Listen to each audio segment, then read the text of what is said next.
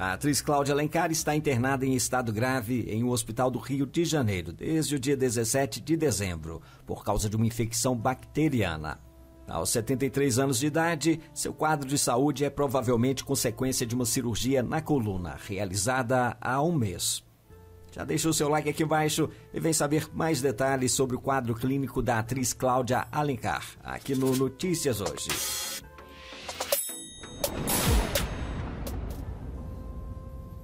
Atriz Cláudia Alencar está longe das novelas desde 2017, quando fez uma participação em Rock Story. Mas ela tem uma longa trajetória profissional, com mais de 30 personagens na TV e 8 no cinema.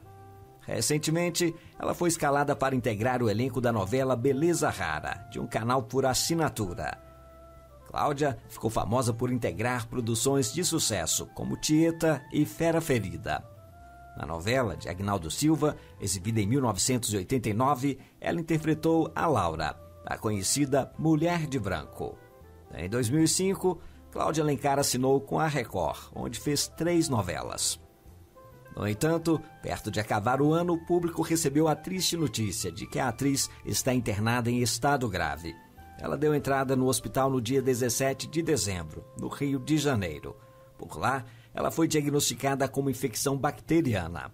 O filho da atriz, Ian Hatwell, de 35 anos, que mora em Los Angeles, nos Estados Unidos, está acompanhando de longe o estado de saúde da mãe.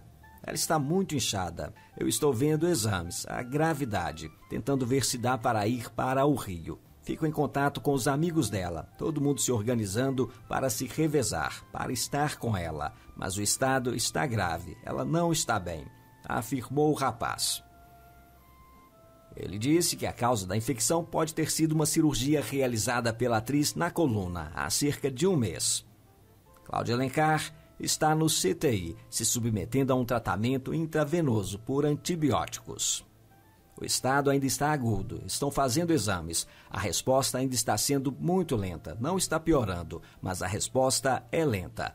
Ela fez uma cirurgia na coluna e teve essa infecção. Às vezes acontece depois da cirurgia. Ela começou a sentir muita dor. Achava que era dor muscular ou outra coisa. Foi para o hospital porque realmente estava piorando explicou Ian.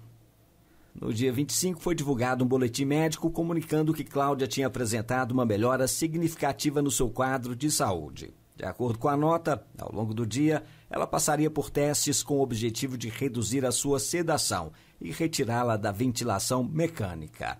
A última atualização que tive é que estubaram ela e estão esperando para ver como ela vai reagir.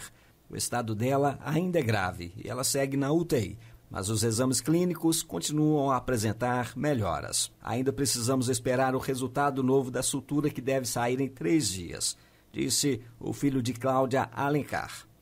Por aqui, nós vamos torcer pela melhora do quadro clínico da atriz. Você acompanhou os trabalhos de Cláudia Alencar na televisão?